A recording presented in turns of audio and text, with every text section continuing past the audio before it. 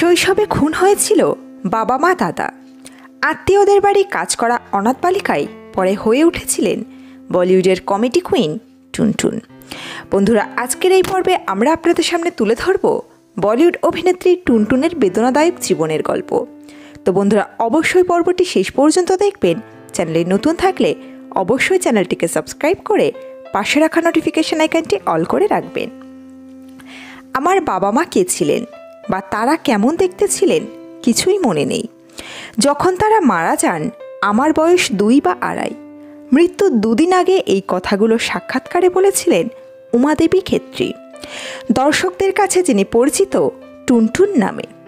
শৈশবের স্মৃতি বলতে গেলে তার মনে ছিল আলিপুর বলে এক গ্রামের কথা।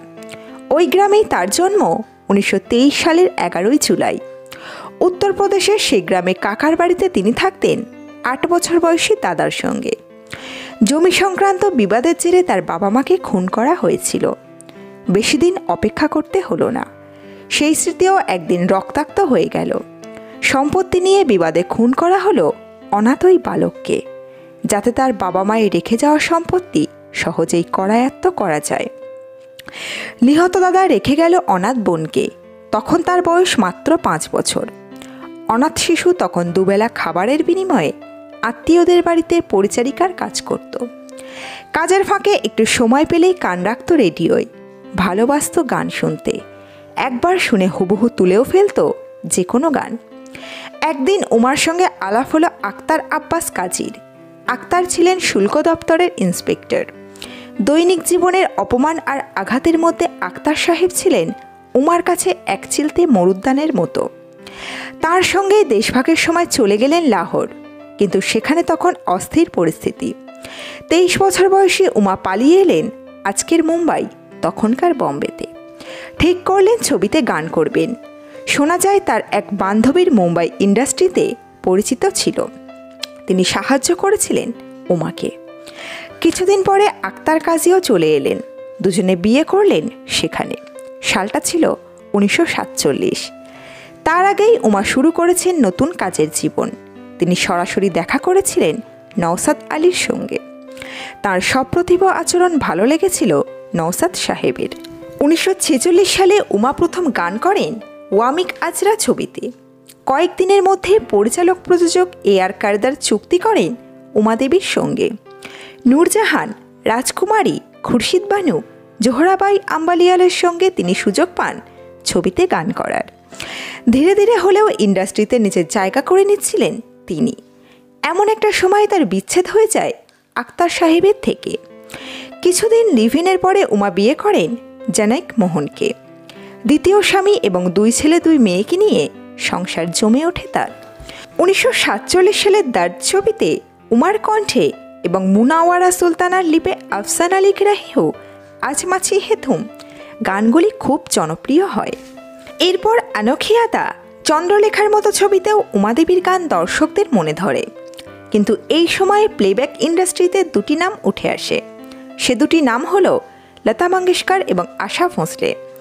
তাদের কাছে ক্রমে পিছিয়ে পড়তে থাকেন উমাদেবী। উমাদেবীর পুরানো রীতিতে গান গাওয়া থেকে মুখ ফিরিয়ে নেন দর্শক শ্রোতা। পরিচালকদের পাল্লা ভারী হতে থাকে নতুন দুই গায়িকাদের দিকে। ইন্ডাস্ট্রিতে টিকে থাকতে নৌসাদ তাকে পরামর্শ দেন অভিনয় শুরু করার। উমাদেবী কথা বলতেন খুব সুন্দর। তাছাড়া সেন্স অফ হিউমার ছিল প্রশংসনীয়, ফলে কাজ পেতেই পারতেন। কিন্তু তিনি শর্ত রাখলেন, কাজ করলে করবেন দিলীপ কুমারের ছবিতে। এতটাই ভক্ত ছিল নায়কের। আরও একবার পাশে দাঁড়ালেন নৌসাদ সাহেব। তার অনুরোধে বন্ধু দিলীপ কুমার সুযোগ দিলেন উমাদেবীকে। উনিশশো পঞ্চাশ সালে মুক্তি পাওয়া দিলীপ কুমার নার্গিসের ছবি বাবুলে প্রথম অভিনয় করলেন উমাদেবী। স্বপ্নের নায়কই পাল্টে দিলেন নাম।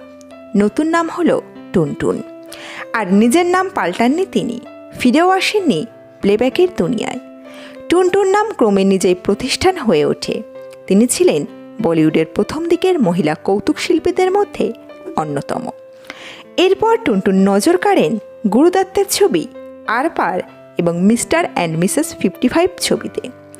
বলিউডের ছবিতে ক্রমশ অপরিহার্য হয়ে ওঠে টুনটুনের উপস্থিতি। টান টান চিত্রনাট্যের মাঝে টুনটুনের কমিক রিলিফ উপভোগ করতেন দর্শকরা।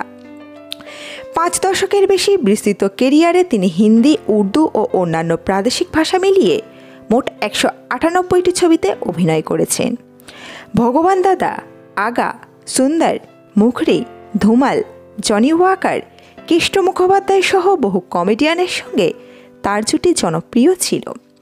উনিশশো বিরাশি সালে সুপারহিট ছবি নামাখালালে টুনটুন স্ক্রিন শেয়ার করেছিলেন অমিতাভ বচ্চনের সঙ্গে।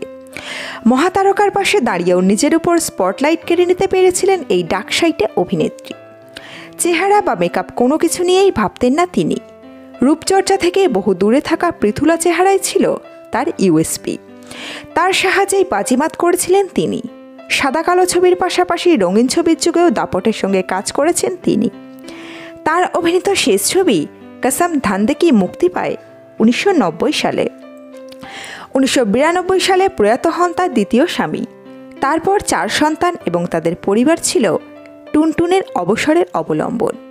সবাইকে রেখে দীর্ঘ রোগভোগের পর তিনি আশি বছর বয়সে প্রয়াত হন দু হাজার তিন সালের চব্বিশে নভেম্বর। তো বন্ধুরা, এই ছিল আমাদের আজকের পর্ব। আমাদের আজকের পর্বটি সম্পর্কে আপনাদের যদি কোনো মতামত ও মন্তব্য থাকে, তাহলে অবশ্যই কমেন্ট বক্সে কমেন্ট করে জানাতে ভুলবেন না। ভিডিওটি শেষ পর্যন্ত দেখবার জন্য সকল দর্শক বন্ধুকে অসংখ্য ধন্যবাদ।